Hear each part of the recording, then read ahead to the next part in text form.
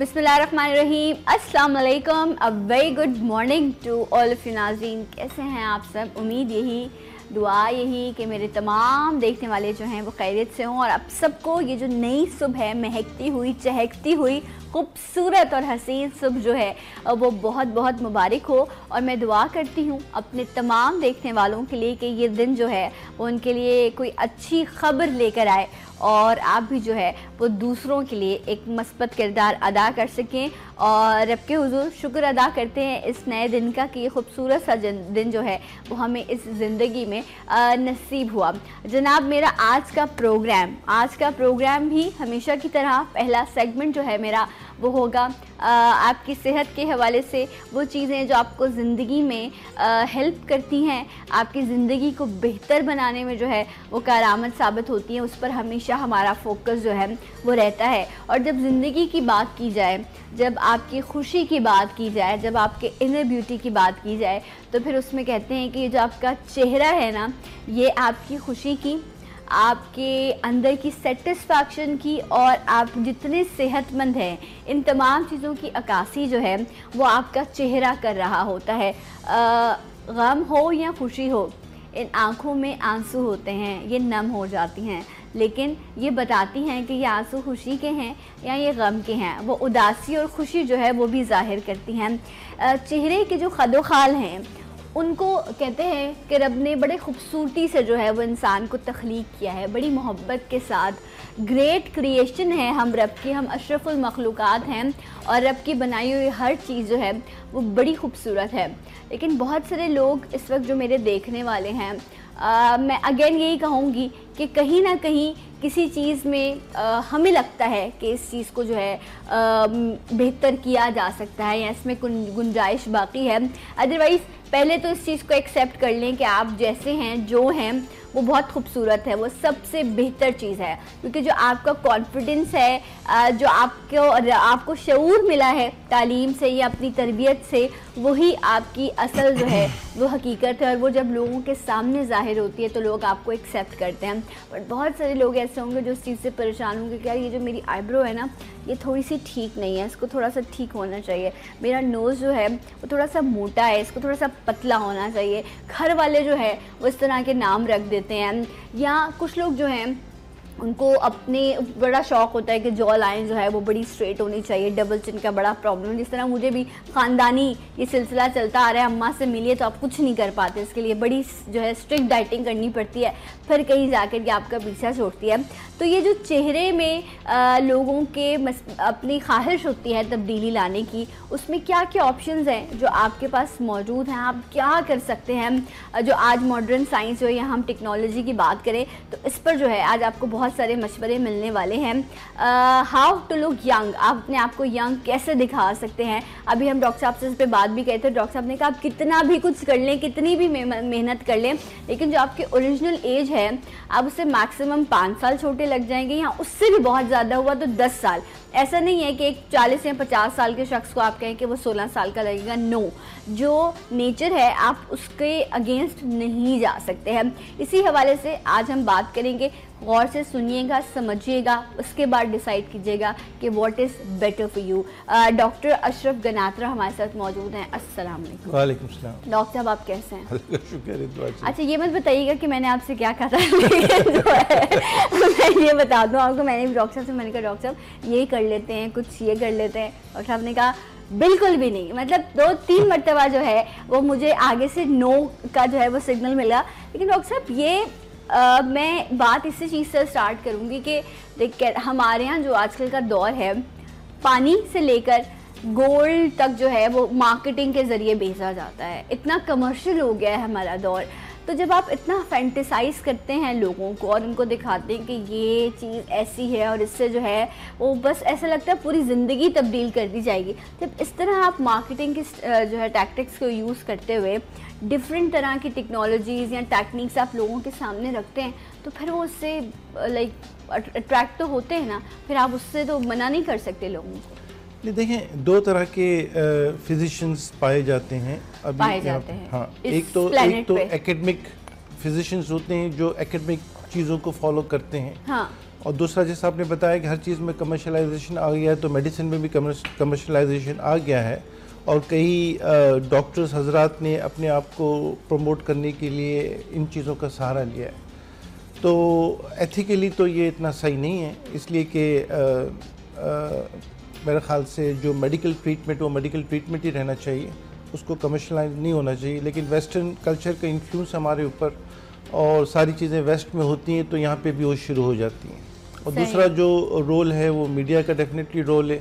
जो जो सेलिब्रिटीज़ हैं वो ये चीज़ें करवा रहे होते हाँ। तो लोग समझते हैं कि हमारे लिए भी वो सही हैं। सही है। और इस तरह से हमें भी कराना चाहिए। मुझे अच्छी तरह याद है कि जब माइकल जैक्सन का दौर था तो एक पेशेंट मेरे पास आए थे कि मुझे उसका कॉम्प्लेक्शन डार्क था उसने आके मुझे कहा कि मुझे गोरा कर मैं कहा ये तो मुमकिन नहीं कि आप पूरे गोरे हो जाएँ। माइकल जैक्सन ने गोरा कराया। अभी भी कई लोग आते हैं इतने मोटे मोटे लोग होते हैं वो आके बैठते हैं कहते हैं मुझे दुबला कर दें मेरी हाँ। सारी चर्बी निकाल दें।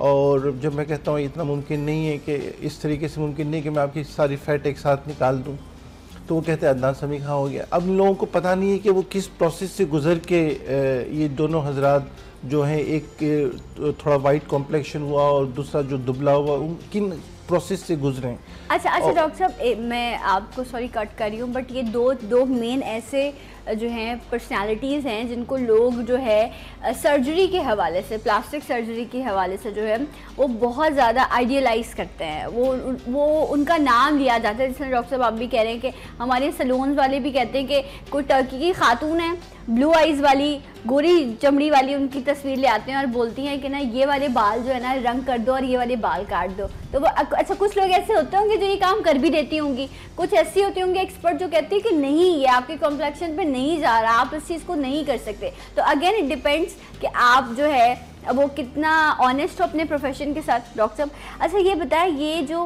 माइकल जैक्सन वाला जो है मामला हुआ था, वो फिर कैंसर का शिकार हो गए थे और जिस तरह उनके तमाम मामला हुए या जो भी वट उनकी ज़िंदगी का मामला था, एक आम बंदे के लिए पॉसिबल है कि वो उन तमाम सर्जरीज़ को, मैं पैसे की भी बात नहीं करती, बड़े पैसे वाले लोग रखे यहाँ पाकिस्तान में भी मौजूद हैं, कि अफोर्डेबल अफोर्डेबिलिटी की भी बात नहीं आती। क्या एक शख्स के लिए कि जिसम की इतनी ताकत होती है, इतनी कुत मुदाफ़त होती है कि वो इस तरह के प्रोसीजर से गुजर सके या उसके लिए इतना सेफ़ है? किस किस्म के प्रोसीजर जिस तरह आप माइकल जैक्सन की बात करें या आप किसी और आपने दान समी का ज़िक्र हम्म। किया नहीं अदनान समी खां का मोटापे का मसला था। मोटापे के लिए जो आजकल प्रोसीजर चल रहा है वो बेरेटिक सर्जरी हाँ। बेरेटिक सर्जरी का मैंने पहले भी इस फोरम पे डिस्कस किया था। इसमें यह होता है कि जो मैदे की जो कैपेसिटी है उसको एंडोस्कोपिक सर्जरी के ज़रिए कम कर दिया जाता है। ठीक है। स्लीव रिसेक्शन किया जाता है और मैदे की कैपेसिटी कम हो जाती है। तो छः महीने आठ महीने के बाद बंदे जब खाना कम हो जाता है तो उसका वज़न काफ़ी कम हो जाता है। जब उसका वज़न काफ़ी कम हो जाता है तो उसकी पूरी बॉडी की स्किन जगह जगह से लटक जाती। फिर हम प्लास्टिक सर्जन का रोल शुरू होता है और हम स्किन जो भी लटकी हुई स्किन होती है उसको हम काट के बेहतर करते हैं। जैसे आपकी बाजू की स्किन लटक गई उसको कर दिया पेट की स्किन को लटक गई उसको सही कर दिया। तो ये एक प्रोसेस है जो तकरीबन साल डेढ़ साल चलता है। अच्छा। और इसमें भी ये होता है कि अगर वापस खाना पीना शुरू कर दे तो वापस स्टमक की कैपेसिटी बढ़ जाती। है अच्छा, स्ट्रिक्ट तो डिसिप्लिन अच्छा, और रिजिम रखना पड़ता तो है। आप कह रहे हैं कि स्टमक को जो है वो उसमें बाइंडिंग की जाती है? बाइंडिंग की बाइंडिंग की जाती है तो हाँ, करके बाइंडिंग हाफ़ कर दिया जाता है सिर्फ़ इसलिए हाफ़ नहीं किया जाता। मतलब उसको वो बहुत थोड़ा सा काटा जाता है। अच्छा राइट और सिर्फ़ इसलिए किया जाता है ताकि आप लोग कम खाएँ। आपकी जो है वो जो क्रेविंग है वो भी कम हो जाती है फिर आपके खाने की। उसके बाद जो आपका जो बॉडी में फ़ैट है वो रिड्यूस होना शुरू होता है। बट द पॉइंट इज़ जो डॉक्टर साहब कह रहे हैं कि जो असल मसला वो ये है कि अब अगर आपके आर्म्स जो हैं वो बहुत ज़्यादा हैं फ़ैट है फ़ैट तो आपने फ़ैट रिड्यूस कर दिया। बट वो जो स्किन है वो कहाँ जाएगी? उसके लिए आप क्या करेंगे? चाहे आपकी टमी पे है थाइस पर है हाथों पे कुछ लोग तो पूरी बॉडी उनकी इस तरह की होती है। तो आप कह रहे हैं फिर ये मल्टीपल सर्जरीज वाला मामला है। फिर आपको स्किन के लिए जो है वो सर्जरी की तरफ़ जाना पड़ता है। मतलब हम उसको प्लास्टिक सर्जरी कहते हैं उसमें स्किन भी रिसेक्शन करते हैं नीचे अंडरलाइन टिश्यू भी अगर हमें लगता है कि लैक्स है तो उसको भी हम एक्सरसाइज कर देते हैं। कहने का मकसद ये है कि ये सारे जो चीज़ें होती हैं इनके लिए पेशेंट का मोटिवेटेड होना ज़रूरी है और उसकी डिवोशन इंपॉर्टेंट है। हाँ बिल्कुल डेफिनेटली और और उसमें एक्सपेंसेस भी डेफिनेटली होते हैं। लेकिन हर मरीज़ हर चीज़ के लिए सूटेबल नहीं होता। उसको हर पेशेंट को इंडिविजुअली असेस किया जाता है। उसका बीएमआर देखा जाता है बॉडी वेट और हाइट और सारी चीज़ें देखी जाती हैं उसकी ऑक्यूपेशन देखी जाती है और उसके बाद उसको एडवाइस किया जा सकता है कि आपके लिए क्या बेहतर है। एक्चुअली अच्छा डॉक्टर कुछ लोग ऐसे भी होते हैं जो जो किसी बीमारी में मुबतला होते हैं ठीक है?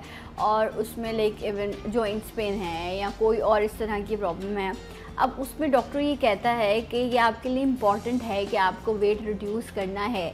अदरवाइज़ ये आपके लिए नुकसानदेह साबित हो जाता है। इवन डायबिटीज़ के पेशेंट्स के लिए ये बड़ा हार्मफुल हो जाता है। तो क्या ऐसे पेशेंट्स भी आपके पास आते हैं आप कहते हैं कि मुझे अपने मर्ज को ठीक करने के लिए वैसे नहीं मैं वज़न कम कर पा रहा। बट आप लोग भी एट द एंड जो मुझे बात समझ आई है वो यही है कि मुँह पर जिप लगानी पड़ती है। कम खाएँगे कंट्रोल करेंगे डिसिप्लिन करेंगे तो मैनेज करेंगे। नहीं वेट कम करने के लिए जो आजकल सर्जरी जो सर्जरी है उसमें उसको बेरेटिक सर्जरी कहूँगा हम्म। वो वही आजकल इन है और वही बेहतर कॉमन है ज़्यादा। हाँ, और लेकिन पाकिस्तान में वो महँगी है लेकिन फिर भी हो रही है उससे काफ़ी कम हो रहा है। प्लास्टिक सर्जरी से ये कंसेप्ट गलत है कि प्लास्टिक सर्जरी के ज़रिए लाइपोसक्शन के ज़रिए हम सारी चर्बी निकाल देंगे और वेट कम हो जाएगा ऐसा नहीं है। आ, मैं इसका एग्जांपल ऐसे देता हूँ कि एक किलो लोहा है और एक किलो रुई है। अब एक किलो रुई आपकी ज़्यादा जगह घेरेगी हम्म। और एक किलो फैट ज़्यादा जगह घेरेगी एक किलो लोहे की नस्बत तो हम जब लाइपोसक्शन करते हैं तो हम वॉल्यूम कम करते हैं लेकिन वेट कम नहीं करते। अगर मैं पाँच लीटर छः लीटर भी फैट निकाल दूँगा तो वज़न जो कम होगा वो आधा किलोग्राम एक किलोग्राम कम होगा। पाँच किलोग्राम कम नहीं होगा। तो अच्छा। ये ये लोगों का मिसकनसेप्ट है कि लाइपोसक्शन हम करवाएँगे पूरी फैट निकल जाएगी नहीं। लाइपोसक्शन जो है वो लोकलाइज्ड एरियाज़ के लिए है पूरी बॉडी के लिए नहीं है। लोकलाइज एरिया का मतलब है कि किसी का खाली एब्डोमेन पे है किसी खातून की थाइस पे है बटक्स पे फैट है तो हम लोकलाइज एरिया करके उसको बेहतर करते हैं। अच्छा लाइक लेकिन पूरी बॉडी की अगर आप बात करें तो उसके लिए लाइफ लाइपोसक्शन नहीं है। अगर आपको लगता है आपके आर्म्स हैं या सिर्फ़ आपकी टमी का टमी का बहुत ज़्यादा प्रॉब्लम होता है। अच्छा डॉक्टर साहब कुछ खातन के साथ इस तरह होता है कि आफ्टर प्रेगनेंसी या उनको सिजेरियन होने के बाद जो है वो फैट हो जाता है टमी पर और वो बिल्कुल लूज़ हो जाती है उनकी टमी तो उनके लिए ये बेटर ऑप्शन हो सकता है।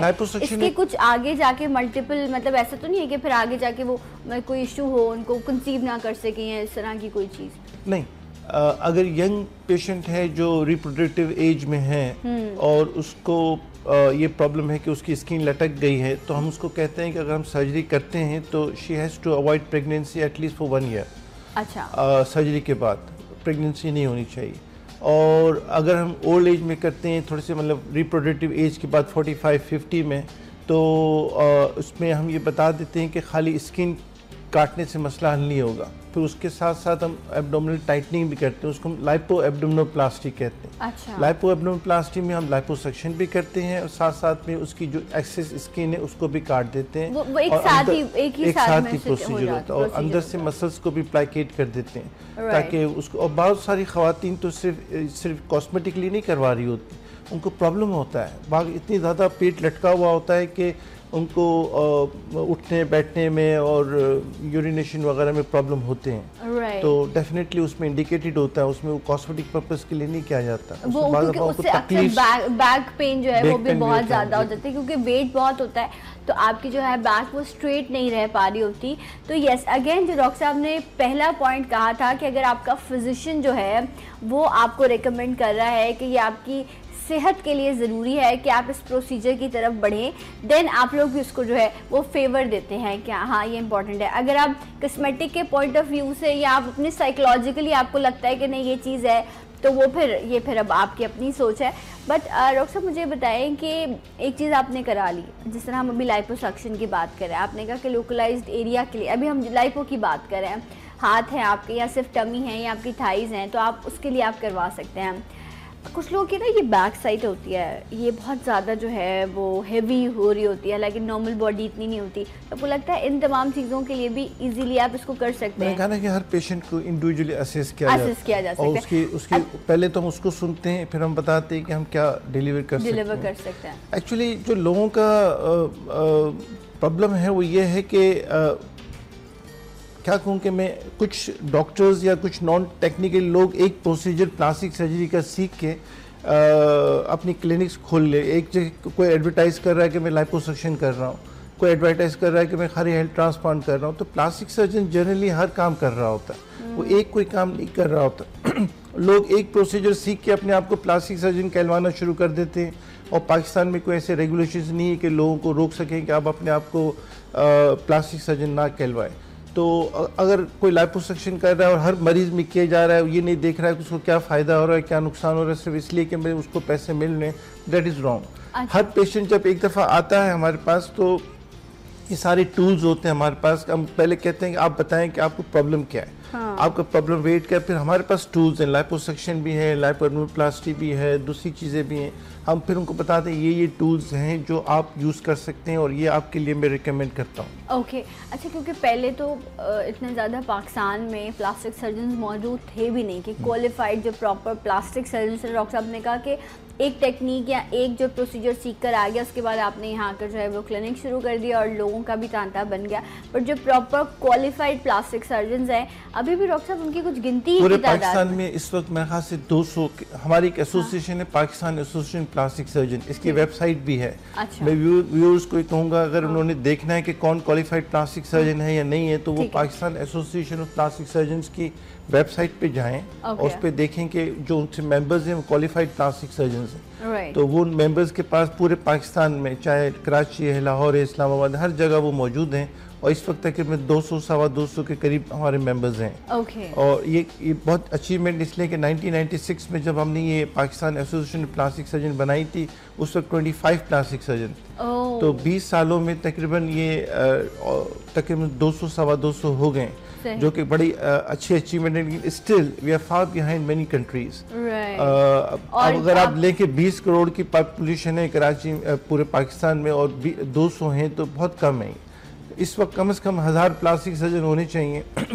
और प्लास्टिक सर्जन जब ज़्यादा होंगे जब ही ये प्रॉब्लम सोल्व होगा कि जो ले पर्सन है जो अपने आप को प्लास्टिक सर्जन कहलवाते हैं वो फिर आहिस्ता आहिस्ता कटते जाएँगे इसलिए कि क्वालिफाइड प्लास्टिक सर्जन लोग आएँगे अभी हम सारे प्लास्टिक सर्जन जो पाकिस्तान में वो इतने ओवरबर्डन हैं दूसरे कामों में हम्म। खाली हमारा काम कॉस्मेटिक का नहीं होता इसलिए बहुत इसमें एक गैप है कॉस्मेटिक में हम्म। और कॉस्मेटिक में गैप होने की वजह से वैक्यूम होने की वजह से बहुत सारे नॉन प्लास्टिक सर्जन इस फ़ील्ड में आ रहे हैं Right. और अपना काम कर रहे हैं लेकिन वो आ, अच्छा जो, तो जो जो लोग इस वक्त मेडिसिन की फ़ील्ड को ज्वाइन करना चाह रहे हैं उनको भी जो है वो थोड़ा सा सोचना चाहिए क्योंकि अब आप देखें ना एक टाइम था कि आप अगर मैं बी या डेंटिस्ट की भी बात करूँ तो इस इस इस लेवल का नहीं काम हो रहा था। अब आप देखें, अब डेंटिस्ट्री की तरफ़ भी बहुत सारी हमारे जो है, अब आप पूछें, पहले हर शख्स कहते थे, मैं एमबीबीएस कर रहा हूँ। अब वो कहते हैं कि नहीं, हम बीडीएस या उस तरफ़ जा रहे हैं। बट ये डॉक्टर साहब ने कहा कि आप अगर मेडिसिन की फ़ील्ड की तरफ़ बढ़ना चाहते हैं तो देर इज़ मेनी ऑप्शन अब इतने सारे ऑप्शन हैं तो आप इस फ़ील्ड को भी जो है, वो ज्वाइन करेंगे तो पाकिस्तान में जो है डॉक्टर साहब ने कहा, दो सौ से सवा दो हैं। बट एक हज़ार का नंबर यहाँ होना चाहिए। होना चाहिए था। 2017 की अगर हम बात करें अगेन जब ज़्यादा लोग होंगे लोगों में अवेयरनेस ज़्यादा होगी बेहतर ट्रीटमेंट जो हैं वो किए जा सकेंगे। अच्छा डॉक्टर साहब मुझे एक चीज़ ये बताइए कि कोई भी ट्रीटमेंट हो चाहे हम लाइपो की बात करें या किसी और ट्रीटमेंट की बात करें एक चीज़ आपने करवा ली आपने पैसा खर्च कर दिया आपने मल्टीपल सेटिंग्स ले ली इसके बाद ये हंड्रेड परसेंट एश्योरिटी है कि अब जो आपको एक जैसा आप चाहते थे मॉडल आप वैसे बन गए हैं अब आप ऐसे ही रहेंगे सारी ज़िंदगी। अब इसमें कोई तब्दीली क्योंकि सोच यही है ना कि एक बार मैंने पैसा खर्च कर दिया दर्द बर्दाश्त कर लिया सब कुछ हो गया और मज़े की बात यह है कि लोग बताते भी नहीं हैं। आप ज़ाहिर फ़ौरन आप देखें एक शख्स को जो इस तरह की सर्जरी से गुजर गुजरा होता है उसको देख के ही पता चल जाता है कि ये किसी नॉर्मल जो रूटीन्स को फॉलो करते हुए जो इसने वेट लूज नहीं किया किसी प्रोसीजर से गुजरा है अच्छा। ऐसा है इतना तो अब मुझे समझ में आ गया कि मुझे अंदाज़ा हो जाता है कि इतनी जल्दी आप ऐसे नहीं हो जाते। बट लोग कहते नहीं हमने तो कुछ नहीं कराया आई डोंट नो ये क्या एक सोच है कि छुपाना है आप एक्चुअली एक टेबू है। एक ज़माने में तो अमेरिकन अमेरिका में भी जो प्लास्टिक सर्जन कॉस्मेटिक सर्जरी करते थे वो बताते नहीं थे। कॉस्मेटिक सर्जरी को छुपाया जाता था। पाकिस्तान में भी ये ट्रेंड आया था कि जो कॉस्मेटिक सर्जरी जो शुरू शुरू में सिक्सटीज़ में हो रही थी आपने जो मशहूर उस वक्त सेलिब्रिटीज़ थे नूरजहाँ हो गई जेबा हो हम्म। गई मोहम्मद अली हो गई ये लोग सब प्लास्टिक सर्जरी सुनते थे कि भाई कराई कौन कौन सी सर्जरीज कराई नूरजहाँ जो हाँ, उन्होंने भी उन्होंने एक नैरोबी से एक हक साहब आते थे उस ज़माने में। अच्छा। नैरोबी में बेचते वो आते थे तो वो हमें पता है कि उन्होंने कराई। थी तो अच्छा। खैर ये तो उस वक्त की बातें हैं लेकिन अभी भी ये टेबू ख़त्म होता जा रहा है और अमेरिका में तो कॉस्मेटिक सर्जरी ज़ाहिर बात है अब खुलेआम होती है। होती है। और प्लास्टिक सर्जन भी शर्मिंदा नहीं होते कि हम कॉस्मेटिक सर्जरी कर रहे हैं और ना ही पेशेंट वहाँ पे लेकिन अभी भी जो आम पब्लिक में ये है कि कॉस्मेटिक सर्जरी को छुपाना चाह रहे होते छुपाना चाह रहे होते हैं। उनको लगता है कि कोई नुक्स है हम, हमारे अंदर जो था जो हमने ठीक करा लिया बट आई थिंक ये तो आपको कॉन्फिडेंस है। आपको इतनी आप आप इतने अवेयर थे किसी चीज़ से कि आपने उस पर काम किया और उसके बाद आपने उसको ठीक किया। बट मैं उस सवाल की तरफ़ वापस आऊँगी कि ये जो आप अपने अपने आप को एक मॉडल बना लिया है अब ये क्या फिक्स हो गया है कि अब ऐसे ही सारी ज़िंदगी आपने गुजारनी है या उसके लिए फिर डाली या आपकी जो लाइन्स आ गई हैं चेहरे पर आपने उनके लिए उसमें फिलर्स डाले जाते हैं ना जब जो लाइन्स होती हैं चेहरे की वो भी फिलर्स भी डाले जाते हैं फैट भी डाली जाती फैट भी डाली जाती है। राइट तो उनको आपको जो है वो फिर अगेन एंड अगेन अच्छा ये भी कहते हैं कि आपने एक बार करा लिया और उसके बाद छः आठ महीने बाद वो क्योंकि आप उस मसल को पैरालाइज कर देते हैं ना जब आप बोटॉक्स में आप ऐसा होता है कि जिस तरह ये है अब आपका एक्सप्रेशन ऐसा ही रहेगा वो चेंज नहीं हो सकता। उस मसल को जो सिंपल बात है आपने उसको पैरालाइज कर दिया है। अब जैसे जैसे वो नॉर्मल होगा एक्टिव होगा इट डिपेंड्स कितने महीने में हो जाता है तो वो दोबारा आपकी जो आईब्रो है वो नॉर्मल कंडीशन में आ जाती है। कहते हैं कि बुरी हालत हो जाती है लोगों की मतलब चेहरे और बिगड़ जाते हैं। जब अगर आप दोबारा से ना करवाएँ आप फिर बाउंड हैं कि आपने उसको मुसलसल कराना है। इज़ इट राइट ऐसा ही है। ऐसा तो नहीं है। ये इंडिविजुअल इंडिविजुअल वेरी करता है हाँ। कि एक एक सपोज़ कोई शख्स है जो पेशेंट है उसने बोटक्स करवाया and he is happy with the Botox result तो वो तीन छः महीने के बाद उसका रिज़ल्ट खत्म हो जाएगा और वापस अपनी ओरिजिनल शक्ल पे आ जाएगा उसको पसंद नहीं तो फिर वापस उसको रिपीट कराना होगा। तो अच्छा वो असल में अपने आप को इतना अच्छा बेहतर देख चुका होता है अपनी मर्ज़ी का। फिर जब वो दोबारा हाल शक्ल होती है वैसे ही तो वो कहता है कि अच्छा ये तो मेरा बुरा हाल हो गया क्योंकि वो एक एक आपके जहन में एक पिक्चर आ जाती है। तो जो डॉक्टर साहब कह रहे हैं कि ये साइकोलॉजिकल है बट वो एक मसल था जो जिसको आपने अपनी मर्ज़ी से स्ट्रेच किया उसके बाद जब वो नॉर्मल हो गया तो वो फिर आपकी नापसंदीदगी वाली बात होती है तो आप फिर डॉक्टर को उसके लिए जो है वो नहीं, कसूरवार सबसे इम्पोर्टेंट चीज़ जो यहाँ पे मैं बताना चाहूँगा ना कि ब्यूटी है उसको आप डिफाइन नहीं कर सकते। अच्छा। Beauty is lies in the eyes of beholder ठीक है ना? देखने वाले की आँखों में खूबसूरती है। एक चीज़ मुझे खूब जैसे ये बॉल पड़ा है, मुझे खूबसूरत लग रहा है आपको नहीं लग रहा।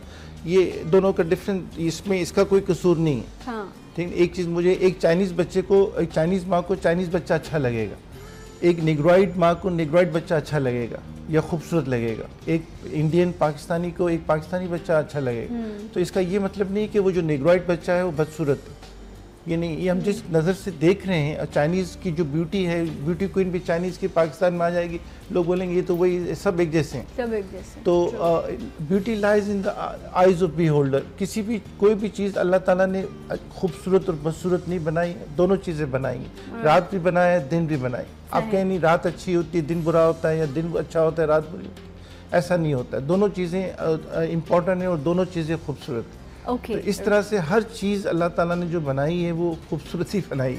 अब ये हम- हम लोगों पर है कि हम काले रंग को बुरा कहते हैं या गोरे रंग को अच्छा कहते हैं ये हम लोगों पर है। सही ये परसेप्शन अच्छा अच्छा डॉक्टर साहब ये जो हम जो फैट को बॉडी से ख़त्म करने के लिए या वेट रिड्यूस करने के लिए जैसे डॉक्टर साहब ने कहा कि दो तीन ट्रीटमेंट्स हैं जो इस वक्त एक तो डॉक्टर साहब ने लाइपोसक्शन का ज़िक्र किया उन्होंने कहा कि वो इतना अ, हम प्रेफर नहीं करते। इट डिपेंड्स कि पेशेंट की नीड क्या है। अगेन जो बात है ठीक है?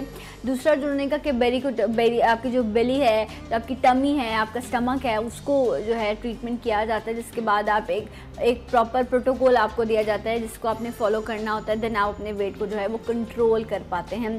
डॉक्टर साहब अगर मैं आपसे पूछूँ एवरेज मंथ में आप कितने इस तरह के ट्रीटमेंट्स करते हैं?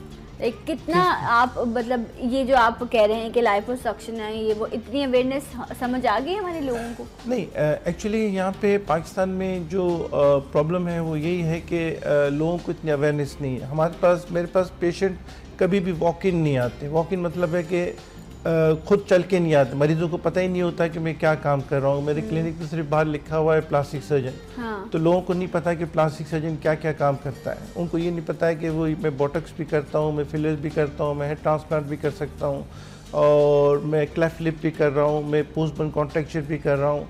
ये सब लोगों को नहीं पता होता है। तो हमारे पास जो भी पेशेंट आते हैं ज़्यादातर जो एम बी डॉक्टर्स होते हैं वो रेफ़र कर रहे होते हैं या दूसरे स्पेशलिस्ट रेफ़र कर रहे होते हैं। हाँ जो वो डॉक्टर्स जो अपने आप को प्रमोट करते हैं जो टी वी पे इश्तारा देते हैं या अखबार में इशारात देते हैं उन लोगों के पास जो कॉस्मेटिक पे ज़्यादा ज़ोर देते हैं उन लोगों के पास पेशेंट जाते हैं। एक्चुअली जब प्लास्टिक सर्जरी एक तो एम बी है एम बी के बाद फिर जो प्लास्टिक सर्जरी के अंदर FCPS होता है जब एक आदमी एक प्लास्टिक सर्जन बन जाता है तो उसके पास बहुत सारी फील्ड्स होती हैं। उसमें हमारी हैंड सर्जरी है क्रेनोफेशियल सर्जरी है कॉस्मेटिक सर्जरी है और भी बहुत सारी कैंसर सर्जरी है। तो जो प्लास्टिक सर्जन हमारे जो होते हैं वो एक एक फ़ील्ड अडोप्ट कर लेते हैं। बहुत सारे जैसे हमारे पास माइक्रोवेस्कुलर सर्जन जो हैं वो सिर्फ़ माइक्रोवेस्कुलर कर रहे हैं। क्लेफ्ट वाले ज़्यादा क्लेफ्ट का काम कर रहे हैं जो बहुत सारे हैंड की सर्जरी वाले हैंड का काम कर रहे हैं और कॉस्मेटिक वाले कॉस्मेटिक का काम कर रहे हैं। कॉस्मेटिक का काम आ, आ, अच्छा खासा डे बाई डे बढ़ता जा रहा है और आपको ये सुन के हैरत होगी कि मेल पेशेंट भी अब ज़्यादा से ज़्यादा आने लगे हैं। सही। अच्छा जी अब बात हाँ, मेल पेशेंट में सबसे कॉमन प्रोसीजर जो है वो है ट्रांसप्लांट है। और फीमेल में सबसे कॉमन प्रोसीजर एबडोनोप्लास्टी है और राइनोप्लास्टी अच्छा। नाक की नाक की समाउ सर्जरी पाकिस्तान में नाक का ऑब्सेशन बहुत ज़्यादा है और समहाउ नाक की सर्जरी बहुत ज़्यादा लोग कराने में इंटरेस्टेड होते हैं। और ये सर्जरी नाक की वो एंटी सर्जन भी करते हैं प्लास्टिक सर्जन भी करते हैं right. और लेकिन लेकिन आ, सबसे इम्पोर्टेंट जो चीज़ होती है नाक की सर्जरी में ये होती है जिसको हम राइनोप्लास्टिक कहते हैं कि उसमें कई पेशेंट साइकोलॉजिकली स्टेबल नहीं होते मैं ये नहीं अच्छा। कहता हूँ कि साइकेट्रिक पेशेंट होते हैं लेकिन इमोशनली अनस्टेबल होते हैं उस फ़ेज़ ऑफ़ लाइफ में तो अच्छा। तो वो बहुत सारी चीज़ों का इल्ज़ाम अपनी नाक पे डाल रहे होते जैसे यंग फीमेल पेशेंट आ रही होती हैं उसके रिश्ते नहीं हो रहे होते और जो रिश्ते नहीं हो रहे होते तो किसी ने खातून ने कह दिया कि मेरी बच्ची की नाक मोटी है तो हाँ। वो फिर आके बैठ जाती है मेरी नाक पतली कर दें आपको कब से पता चला आपकी नाक मोटी है तो जब वो जब से वो रिजेक्ट करके हाँ। गई हैं जब से तो इस टाइप के पेशेंट सही नहीं होते। इनकी सर्जरी करना मुनासिब नहीं होता। अच्छा इसलिए कि डॉक्टर साहब एक एक शख्स कह रहा है अगर कि मेरे साथ ये मसला है उसकी वजह से मेरी शादी नहीं हो रही तो आप उसकी अगर नाक को ठीक कर देंगे तो वो आ... एक खातून ने उसको कहा है ना हाँ। सपोज़ दूसरी खातून आती हैं वो हाँ। कहती हैं तुम्हारी नाक पतली है हाँ। वो रिजेक्ट करके चली जाती हैं। तो फिर आप क्या करेंगे? फिर उसकी नाक मोटी करेंगे। तो ये ये चीज़ें नहीं होती कि कोई दूसरा कह रहा है। हाँ पेशेंट अगर खुद उसको पता है कि मेरे साथ क्या प्रॉब्लम है और मैं ये चीज़ चाह रही हूँ या चाह रहा हूँ तो फिर हम करते हैं। अच्छा अब मैं आपसे पूछती हूँ, एक एक न्यू बॉर्न बेबी है, ठीक है? अब वो हमारे यहाँ नानी और दादियाँ जो है ना, वो बड़ा इस तरह का मामला करी होती है ना कि ऐसी जो है वो बेबी आता है तो वो देखती है अच्छा उसका नाक मोटा है तो वहीं दबाना जो है उसको शुरू कर देती हैं कि नाक जो है वो पतला हो जाए। यही वो उस तरह की चीज़ें। एक जब आपका बेबी ग्रो कर रहा होता है तो आपको अंदाज़ा होता है, उसके उसके फीचर्स चेंज हो रहे होते हैं, फिर एक सर्टन एज में जाकर जो है वो आपको उसके चेहरे के खदुकाल समझ में आने लग जाते हैं। अगर आपको लगता है कि आप, आपका बच्चा या कुछ उसके नाक थोड़ा सा चौड़ा है या मोटा है, लड़की के लिए लोग ज़्यादा कॉन्शियस होते हैं तो क्या अगर वो सर्जरी की तरफ़ बढ़ रहे हैं आपकी तरफ़ आ रहे हैं तो आप कह रहे हैं सेफ़ नहीं है आपको ये सुन के हैरत होगी कि जी बड़ी बुढ़िया करती हैं वो बिल्कुल सही है साइंटिफिकली साबित हो गया अच्छा। पहले थ्री मंथ्स जो हैं पहले हाँ। तीन महीने मैं सिर्फ़ तीन महीने की बात कर रहा हूँ पहले तीन महीने बच्चे के अंदर मेटरनल स्ट्रोजिन होता है जो माँ का हार्मोन है और वो चीज़ों को सॉफ्ट करता है तो अच्छा। तो पहले तीन महीने हम लोग कटे हुए होंठ कटे हुए तालू वालों में भी मोल्डिंग करवाते हैं और पहले तीन महीने में अगर कोई फीचर आप चेंज करना चाहते हैं या मॉडिफाई करना चाहते हैं तो वो हो सकता है मेहनत से अच्छा। जापान में ये जो प्रोटोटिंग कान वाले बच्चे ज़्यादा पैदा होते हैं और पहले तीन महीने उनकी स्ट्रेपिंग कर दी जाती है तो वो सही हो जाते हैं जो उठे हुए कान होते हैं तो कैसे घर में कैसे किया जाए? वो घर में टेप लगा के ये जैसे ये कान अच्छा, अगर आपको लगता है आपके बच्चे के कान, कान खड़े हैं, हैं तो आप टेप लगा शुरू में शुरू के तीन महीने जो है वो आप टेप लगा के जो है वो बच्चे को रखे। कर सकते ओके और बेहतर रिज़ल्ट आए। सही। अच्छा सेम इस तरीके से अगर बच्ची की नाक मोटी लग रही है हाँ। या कोई पाँव में कोई ऐसा है टेढ़ा है तो पहले तीन महीने अगर आप उसको मसाज करते हैं स्प्लिटिंग करते हैं तो बेहतर हो सकती लेकिन this is I am talking only about first three months first three months के बाद नहीं। Okay. और, अगर डॉक्टर की सुपरविजन में क्या जाए तो और ज़्यादा अच्छा, अच्छा। अगर नोज़ को करना है आपको लगता है कि नोज़ थोड़ा जो है वो आपका चौड़ा है बच्चे का या मोटा है तो डॉक्टर उसके लिए फिर क्या किया जाए? क्योंकि बच्चा भी छोटा है स्किन भी मसाज मसाज किया जाए जिस, का मसाज जिस, को प्रेस किया जाए। जिस शक्ल में चाह रहे हैं उस शक्ल में मसाज किया सपोज़ उनको लग रहा है यहाँ से मोटा है हाँ। तो उसको मसाज इस तरह से करते रहे तो पतला होगा। बट जेंटल सॉफ्ट हैंड से जो है ना वो हल्के हाथ से इसलिए मैंने कहा कि डॉक्टर की सुपरविजन में किया जाए तो ज़्यादा अच्छा अच्छा और जब ज़िक्र हो ही रहा है तो ऐसे बच्चे जिनके होंठ कटे हुए होते हैं डॉक्टर साहब वो भी वो भी एक ऐसी चीज़ है कि वो शुरू से बाय बर्थ उनको ये प्रॉब्लम होता है। तो उसमें भी आपने कहा कि सलाहियत होती है कि उस चीज़ को बेहतर किया जा सके। तो उसमें आप क्या रिकमेंड करते हैं? वो तो फिजिशियन की डेफिनेटली आप उसकी अंडर इसको सुपरविजन करेंगे। जितने भी ये पेशेंट होते हैं हम इनको भेजते हैं ऑर्थोडोंटिस्ट के पास। अच्छा मुझे एक ब्रेक का कहा जा। रहा है ब्रेक लेते हैं। फिर आकर जो होंठ कटे या तालू कटे बच्चे होते हैं उनके लिए क्या सर्जरीज ऑफ़र की जाती हैं? आइडियल एज क्या है? इस पर बात करेंगे। आफ्टर दिस ब्रेक मेरे साथ रही Salam Pakistan.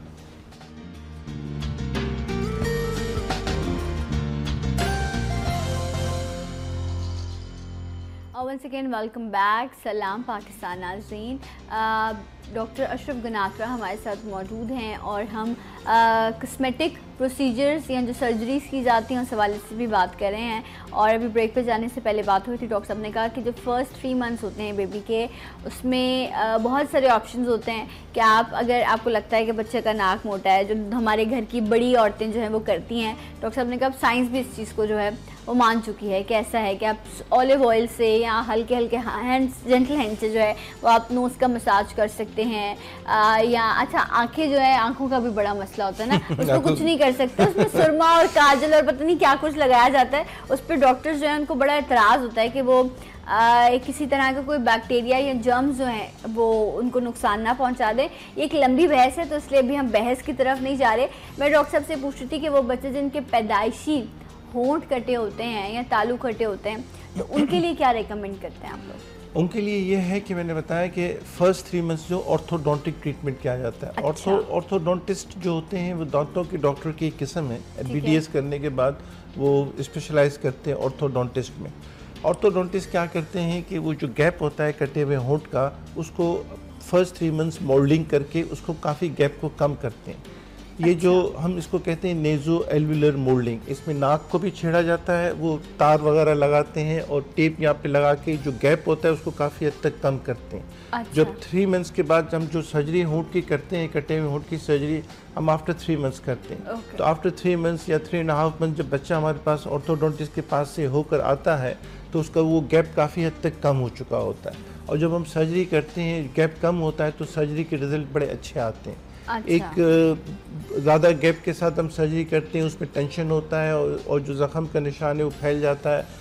और काफ़ी बुरा भी लग सकता है बाज़ अच्छा दफ़ा। लेकिन जब ऑर्थोडोंटिक ट्रीटमेंट होता है तो काफ़ी हद तक वो जो गैप पे कम हो जाता है और जो सर्जरी के रिज़ल्ट है काफ़ी अच्छे आते हैं। इसलिए पूरी दुनिया के अंदर अब ये रिकमेंडेड है कि जो कटे हुए होंठ के साथ पेशेंट हों उनको first three months orthodontic treatment कराया जाए। अच्छा अगेन वही बात आ गई कि आप कितने अवेयर हैं इन सब चीज़ों से, ठीक है? एक लिए मैंने एक आम आदमी, क्या इस बात को जानता है? बनस्बत इसके कि वो अपने बच्चे को छुपा के रखे। नॉर्मली ऐसे ही किया जाता है कि आप, क्योंकि एक अजीब सी जो है, वो एक कैफियत होती है ऐसे पेरेंट्स की फैमिलीज़ की, कि अगर उनका बेबी जो है उसके होंठ कटे हों अल्लाह का दिया हुआ तोहफ़ा है, बेटा है या बेटी है, और अब तो साइंस ने इतनी तरक्की कर ली रब की दी हुई सोच ही है बंदे की जो, और हमेशा डॉक्टर साहब यही कहते हैं कि हम परफेक्ट नहीं कर सकते लेकिन हम उस चीज़ को बेहतर। ज़रूर करते हैं अपनी तमाम तरीके की सर्जरीज के ज़रिए। तो आप घबराएँ ना आप परेशान ना हो। आपने फ़र्स्ट थ्री मंथ्स में जो है वो आप किसी अच्छे बेहतर प्लास्टिक सर्जन के पास जाएँ। डॉक्टर साहब ने कहा कि एक एसोसिएशन मौजूद है जहाँ पर आपको रिकमेंड किया जाता है कि अच्छे क्वालिफाइड प्लास्टिक सर्जन मौजूद हैं। और आई थिंक पाकिस्तान के हर हिस्से में आपको किसी भी करीबी बड़े शहर में जो है वो आपको अच्छे प्लास्टिक सर्जन मिल जाएँगे। अपने बच्चे को लेके जाएँ। जिसने डॉक्टर साहब ने कहा ऑर्थोडोंटिस्ट जो हैं वो फ़र्स्ट थ्री मंथ्स में बच्चे को देखेंगे उसके बाद जो है उसको एक सर्जरी से गुजरना होगा। आइडियल एज क्या है जहाँ आप सर्जरी करते हैं? कटे हुए होंठ की सर्जरी हम रिकमेंड करते हैं कि तीन महीने के बाद कभी भी हो सकती है। अच्छा after three month after three months लेकिन कटे हुए तालू की सर्जरी इंपॉर्टेंट है। जो कटे हुए तालू जिसको हम क्लेफ्ट पैलेट कहते हैं। डॉक्टर कटे हुए तालू से मतलब क्या मुराद उसमें क्या प्रॉब्लम होता है? होंठ जो है ये वाला है। हाँ, ये हिस्सा कटा हुआ है तो ये। जो अंदर है मुँह के अंदर जिसको जो जो नेजल कैविटी ऊपर नाक और जो औरल कैविटी है हम्म। इसके बीच में एक शेल्फ है। अच्छा। बोनी शेल्फ है और साथ में उसमें सॉफ्ट टिश्यू है। उसको हम हार्ड पैलेट और सॉफ्ट पैलेट कहते हैं। ओके हार्ड पैलेट जो वो है तालू जिसको उर्दू में कहते हैं। सही। तो जो ये तालू है ये भी कटा हुआ होता है बाज़ दफ़ा। और बाज़ दफ़ा होंठ कटा हुआ होता है और बाज़ दफ़ा ऐसे पेशेंट होते हैं बच्चे होते हैं जिनमें होंठ और तालू दोनों कटे हुए होते हैं। ठीक है ना? तो और ये पाकिस्तान में अच्छा खासा कॉमन है। लास्ट टाइम भी हमने बात की थी कि हर 500 बच्चे में से एक बच्चा जो पैदा होता है उसमें होंठ और तालू कटा हुआ होता है। और एक दिन में पाकिस्तान में बारह हज़ार बच्चे पैदा होते हैं। एक मिनट में आठ बच्चे पैदा हो रहे हैं पाकिस्तान। एक दिन में बारह हज़ार का मतलब है कि डेली चौबीस बच्चे ऐसे पैदा हो रहे हैं जिनका होंठ होंठ और या तालू या दोनों दोनों दोनों चीज़ें जो है या होंठ या तालू या दोनों कटा हुआ है। जब तालू भी कटा हुआ होता है हाँ। तो जब होंठ और तालू दोनों कटे हुए हैं तो ता- होंठ की सर्जरी तीन महीने के बाद की जाती है और तालू की सर्जरी एक से डेढ़ साल में की जाती है और अच्छा। सबसे इम्पोर्टेंट यहाँ पे ये है मैं बताना चाहता हूँ कि जो तालू की सर्जरी की जो टाइमिंग है बड़ी इम्पोर्टेंट है और उसी टाइमिंग पे होना चाहिए क्योंकि अगर हम तालू की सर्जरी डिले करेंगे तो बच्चा सही बोल नहीं पाएगा जब बच्चा अच्छा। सही नहीं बोल पाएगा वो नाक से बोलेगा तो समझ में नहीं आता फिर वो माशरे में पीछे रह जाता। अच्छा आपने कहा बोलने का मसला होता है ठीक है? इसके अलावा भी और कुछ प्रॉब्लम्स होते हैं जिनके बच्चों के होंठ तो ठीक हैं लेकिन उनके तालू का प्रॉब्लम है। तालू वाला कट्टे तालू के साथ बच्चा पैदा होता है तो सबसे पहला जो प्रॉब्लम होता है पैदाइश के फ़ौरन बाद वो फीडिंग का होता है। अच्छा। कि बच्चा दूध नहीं पी नहीं नहीं, पा। रहा होता माँ परेशान होती है जो नाना दादी सब परेशान हो रहे होते हैं कि बच्चा दूध नहीं पी पा रहा है। उसके लिए हम लोग रिकमेंड यही करते हैं कि उसको हम कहते हैं हॉर्स राइडिंग पोजीशन में माँ बच्चे को दूध पिलाएँ। बच्चे को माँ थाई पे बिठा ले एक हाथ से सपोर्ट दे और दूसरे हाथ से अच्छा। उसको दूध पिलाएँ। अगर ये मुमकिन नहीं है इसको हॉर्स राइडिंग पोजीशन में माँ का दूध अपना नहीं है तो फिर इसके लिए अलग से निप्पल आते हैं। उसको हम कहते हैं क्लेफ्ट निप्पल हर हर मेडिकल स्टोर पे बड़े मेडिकल स्टोर्स पे मिल जाते हैं।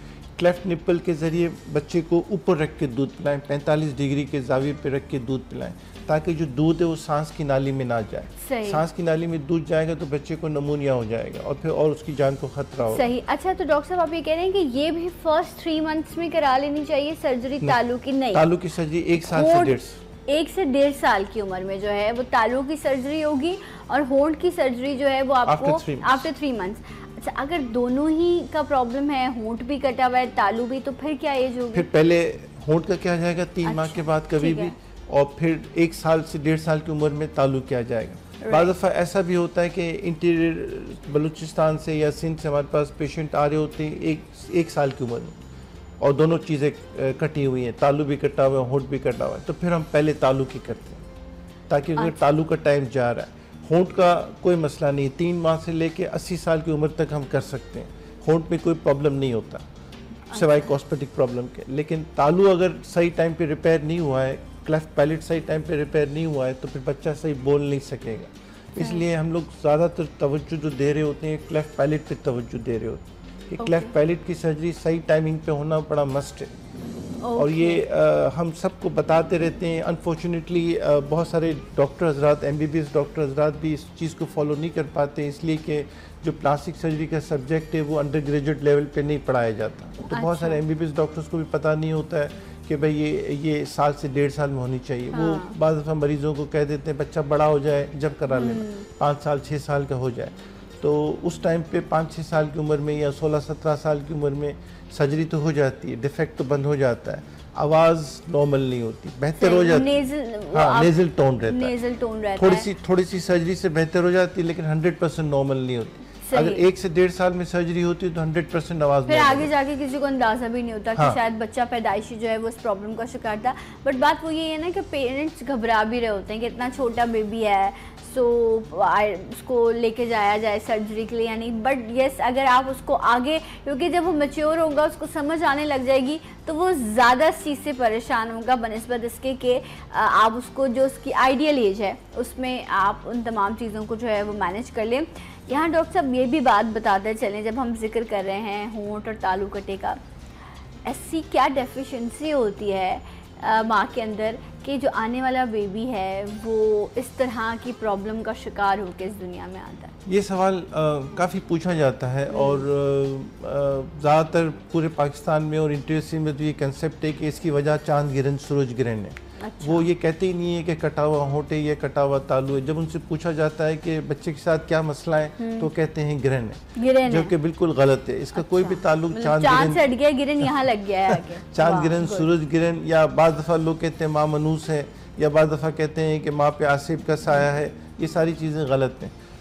जो साइंटिफिकली साबित हुआ है वो एक चीज़ की कमी है वो फॉलिक एसिड। फॉलिक एसिड की कमी अगर माँ के अंदर पाई जाती है और पहले तीन महीने में अगर फॉलिक एसिड की कमी है तो ये बच्चा ऐसा हो सकता है और जो सारी चीज़ें जो बच्चा बन रहा होता है वो फ़र्स्ट थ्री मंथ्स में बन रहा होता है हम्म। तो फ़र्स्ट थ्री मंथ्स के अंदर ही अल्ट्रासाउंड से पता चल सकता है कि कटा हुआ होंठ है या कटा हुआ तालू है या दोनों है उस पर भी बड़े सवाल है ना इसलिए जब हम अल्ट्रासाउंड की बात करते हम्म। हैं डॉक्टर साहब ने फॉलिक एसिड का ज़िक्र किया तो अब अब मुँह में मुँह का अल्सर हो जाता है अक्सर लोगों को गर्मी की वजह से कुछ होता है तो नॉर्मली कहते हैं आप फॉलिक एसिड का इस्तेमाल करें। तो मैं भी यही सोच रही थी कुछ अर्से पहले मैंने भी शायद दिया था तो कुछ मतलब अ, कुछ कुछ मतलब सौ रुपए की भी नहीं है उससे भी कम बहुत- सस्ती बहुत जो है वो चीप है फॉलिक एसिड जो आपको मिल रहा होता है जो आप इस्तेमाल करते हैं।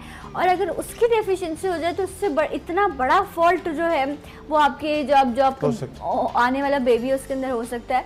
तो ये तो फिर बहुत ही बड़ी लापरवाही है जो भी शख्स कर रहा होता है। लेकिन लेकिन हैविंग सेड दैट ये एक वजह है जो साइंटिफिकली साबित हुई है लेकिन बहुत सारी चीज़ें अभी भी क्लियर नहीं है। अ, कुछ प्री डिस्पोजिंग राइट जी जी कुछ प्री डिस्पोजिंग फैक्टर्स हैं जिसकी वजह से ये होता है। जैसे कहा जाता है कि एक्सपोजर टू रेडिएशन इसका अच्छा। मतलब है कि तापकारी शुआएँ अगर माँ को लगी हैं पहले थ्री मंथ्स में तो उसकी वजह से भी भी हो सकता है. माँ अगर स्मोकिंग करती है उसकी वजह से भी हो सकता है उसकी वजह से हो सकता है। राइट तो इसके तो- मल्टीपल रीजंस हैं बट उनमें एक जो है ये फॉलिक एसिड की डेफिशिएंसी जो है वो भी बहुत काउंट करती है। बहुत शुक्रिया डॉक्टर साहब थैंक यू सो मच आप आए और इस हवाले से बड़ी बेहतर अवेयरनेस जो है वो डॉक्टर साहब ने आपके साथ शेयर की है मुझे एक ब्रेक लेना है मैं आपको ब्रेक के बाद इंशाल्लाह ज्वाइन करूँगी। हमारे साथ रहिए सलाम पाकिस्तान।